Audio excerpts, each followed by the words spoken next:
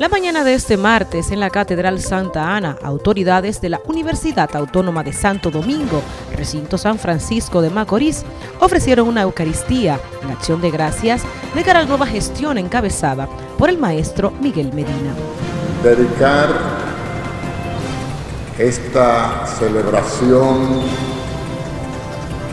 a los maestros y maestras que ya partieron del mundo terrenal, pero que siguen siendo inspiración y ejemplo para cada uno de nosotros en la Universidad Autónoma de Santo Domingo.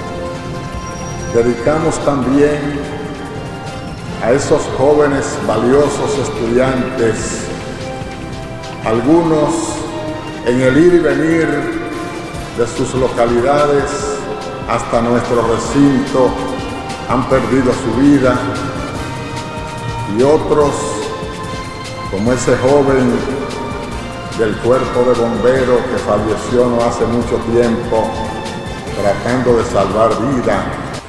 En el marco de su intervención, expresó la importancia de presentar las acciones a Dios para encaminar con éxito todos los proyectos de la gestión que recién inicia.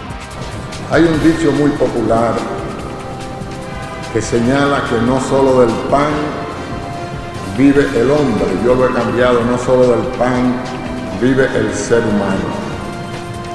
El ser humano necesita espiritualidad, necesita fe para poder emprender el camino que siempre será tortuoso con Señor. Y hasta es bueno que sea tortuoso porque nos desafía para seguir hacia adelante, porque los débiles ceden frente a los caminos tortuosos, pero los fuertes, los triunfadores, como ha sido nuestra institución, la Universidad Autónoma de Santo Domingo y todos sus componentes, no se detienen frente a las tempestades. Para NTN su noticiero regional, Joanny Paulino.